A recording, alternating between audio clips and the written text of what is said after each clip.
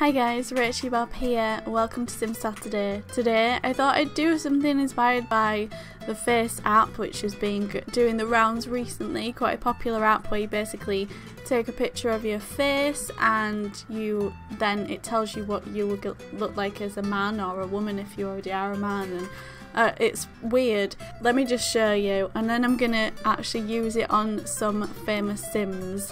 So this is how it works, take a picture of your face preferably not while you're talking. And that's the original, beautiful. Then it shows you what you look like when you smile. Horrendous. Big smile, that was spelled too, smile one. Old, that's me. Old, young, the same. Female, I mean, I think. And male. Oh. Oh. Okay, so yeah, it's weird. So if we then take some pictures we can turn the camera around and take a picture of Addison Rush. It will then process the photo. This is her original. This is her with a smile.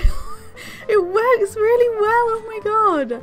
This, oh that, take back everything I said. Old, same. Young, cute, female, she already is, and male. Okay, Try the next sim. We've got Agent Wright. This is from Sims Social, I think. oh, it's so clever. Young, female, doesn't work. Male, definitely doesn't work. Agnes Seabottom, smile too.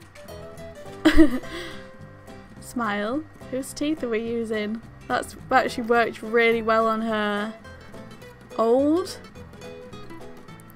Young cute and old. That doesn't work.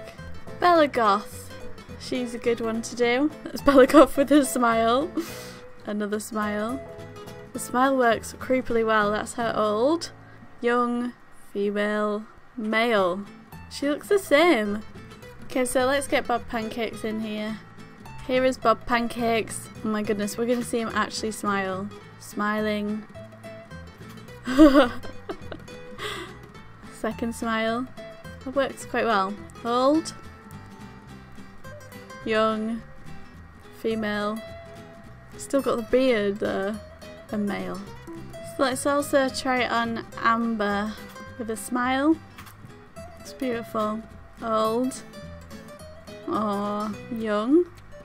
Oh, female. Already is. And male. That's freaky. That's the first up of some of the Sims characters. Have a go with this yourself and tweet me at Rachybop. I'd love to see your creations. Thank you so much for watching. I'll see you in the next video. Bye!